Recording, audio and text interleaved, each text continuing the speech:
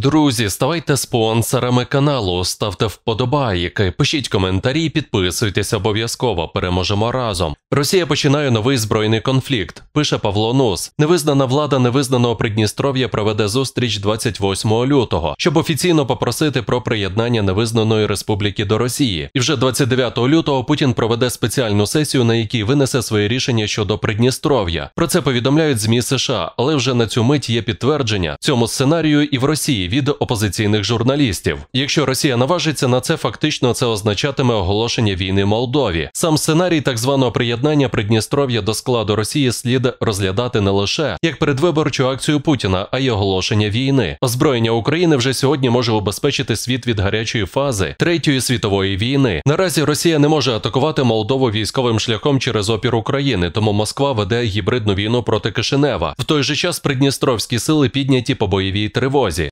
Румунська армія на кордоні. Всі розуміють, починається нова війна, новий фронт. Важлива річ, на якій я хочу наголосити, це те, що сьогодні Росія не може напасти на нас у військовому відношенні, і це пов'язано з Україною, сказав чиновник. Проте диверсійні групи уже на території Молдови. Замахи на санду, вбивства молдавських пілотів, підриви складів за останній тиждень тому свідчення. Сам Речен додав, що в Молдові є внутрішні проблеми, пов'язані з гібридною війною, яку там веде Росія. Під гібридною війною, яку веде Росія, Молдова має на увазі дезінформацію, кібератаки, фінансування злочинних угруповань, які втручаються в політику і намагаються створити дестабілізацію. Військова агресія проти Молдови. Прем'єр додав, що Україна має велику перевагу на Чорному морі, і це різко скоротило можливості Росії здійснювати атаки з Чорного моря, що захищає Молдову ще більше. Ба більше ми бачимо, що військова промисловість Європи та України нарощує свої потужності, сказав Речан. У НАТО говорять про загрози для Молдови. Нещодавно заступник генерального секретаря НАТО Мірча Джоанна попередив, що РФ може вдатися до вкрай агресивних дій, щоб зупинити прозахідний напрямок Молдови. Прем'єр пояснив, що йдеться про гібридні атаки, використання брехні, розпалювання ненависті, підбурювання до поділу районів, де проживають етнічні гагаузи, які розмовляють російською мовою. Ми продемонстрували, що у нас є можливість забезпечити громадський порядок і втрутитися там, де намагаються дестабілізувати обстановку, сказав Рейчан.